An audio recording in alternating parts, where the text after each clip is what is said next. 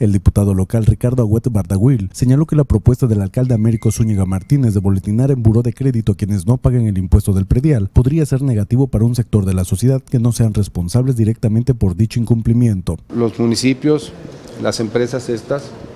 una de ellas que está tratando de vender este servicio, acuérdense que está visitando a diferentes municipios. Entiendo que tanto Jalapa como el Ayuntamiento de Córdoba Orizaba, que usted me dice,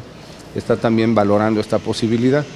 Tendrá que pasar al, al, Cabildo y me imagino que al Congreso. Hay que ver nada más que no se violen los derechos de privacidad de datos personales,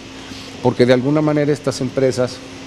pudieran incurrir en un desfasamiento cuando alguien está en el buró de crédito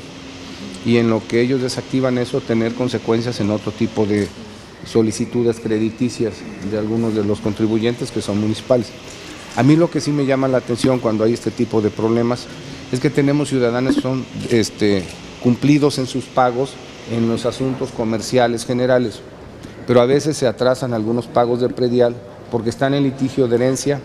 y entonces alguien heredó una propiedad y se va a un litigio, se detiene el pago puntual mientras no se dictamina quién es el legítimo propietario o que va a pagar, pero como aparece su nombre y va a aparecer en un vencimiento de pago, le puede afectar en su vida cotidiana. Es el tema que yo veo con un poquito de riesgo. Alguna persona que tiene un litigio por herencia o por alguna situación de pleito eh, patrimonial,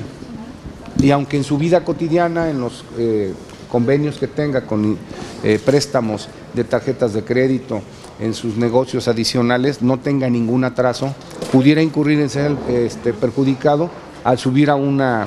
nivel de crédito negativo y tener consecuencias en su vida cotidiana con algún asunto importante en, un crédito bancario o en asuntos generales, ¿no?